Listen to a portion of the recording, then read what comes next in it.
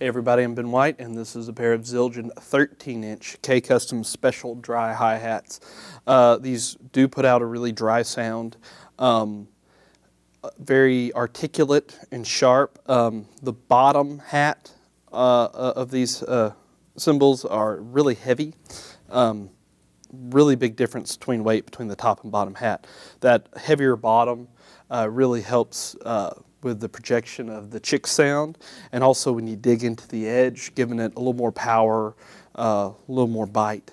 You can get this exact pair of Zildjian 13 inch K-Custom special dry hi-hats only at mycymbal.com.